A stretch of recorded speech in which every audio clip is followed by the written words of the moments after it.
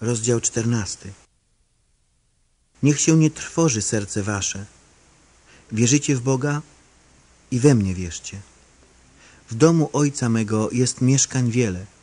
Gdyby tak nie było, to bym wam powiedział. Idę przecież przygotować wam miejsce.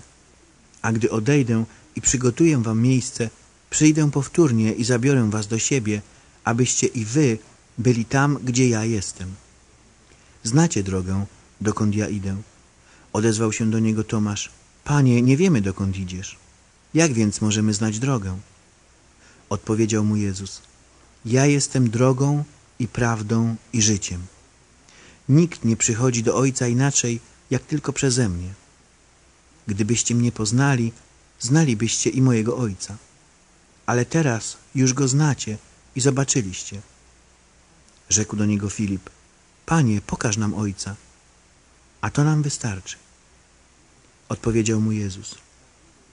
Filipie, tak długo jestem z wami, a jeszcze mnie nie poznałeś? Kto mnie zobaczył, zobaczył także i Ojca. Dlaczego więc mówisz, pokaż nam Ojca? Czyż nie wierzysz, że ja jestem w Ojcu, a Ojciec we mnie? Słów tych, które wam mówię, nie wypowiadam od siebie. Ojciec, który trwa we mnie, On sam dokonuje tych dzieł. Wierzcie mi, że ja jestem w Ojcu, a Ojciec we mnie. Jeżeli zaś nie, wierzcie przynajmniej ze względu na same dzieła. Zaprawdę, zaprawdę powiadam wam, kto we mnie wierzy, będzie także dokonywał tych dzieł, których ja dokonuję.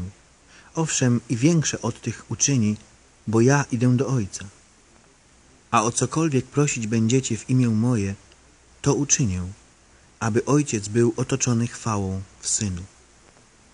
O cokolwiek prosić mnie będziecie w imię moje, ja to spełnię. Jeżeli mnie miłujecie, będziecie zachowywać moje przykazania. Ja zaś będę prosił Ojca, a innego pocieszyciela dawam, aby z wami był na zawsze.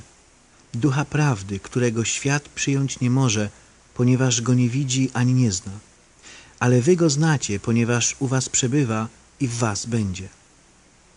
Nie zostawię was sierotami, przyjdę do was. Jeszcze chwila, a świat nie będzie już mnie oglądał. Ale wy mnie widzicie, ponieważ ja żyję i wy żyć będziecie. W owym dniu poznacie, że ja jestem w Ojcu moim, a wy we mnie i ja w was. Kto ma przykazanie moje i zachowuje je, ten mnie miłuje. Kto zaś mnie miłuje, ten będzie umiłowany przez Ojca mego, a również ja będę go miłował i objawię mu siebie. Rzekł do niego Juda, ale nie Iskariota.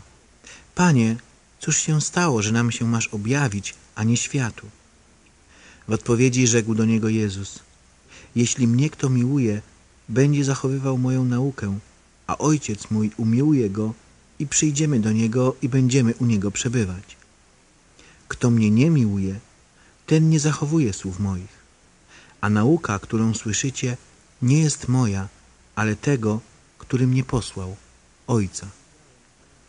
To wam powiedziałem, przebywając wśród was, a pocieszyciel, Duch Święty, którego Ojciec pośle w moim imieniu, On was wszystkiego nauczy i przypomni wam wszystko, co ja wam powiedziałem. Pokój zostawiam wam, pokój mój daję wam. Nie tak jak daje świat, ja wam daję. Niech się nie trwoży serce wasze, ani nie lęka. Słyszeliście, że wam powiedziałem, odchodzę i przyjdę znów do was. Gdybyście mnie miłowali, rozradowalibyście się, że idę do Ojca, bo Ojciec większy jest ode mnie. A teraz powiedziałem wam o tym, zanim to nastąpi, abyście uwierzyli, gdy się to stanie. Już nie będę z wami wiele mówił, Nadchodzi bowiem władca tego świata. Nie ma on jednak nic swego we mnie. Ale niech świat się dowie, że ja miłuję Ojca i że tak czynię, jak mi Ojciec nakazał. Wstańcie, idźmy stąd.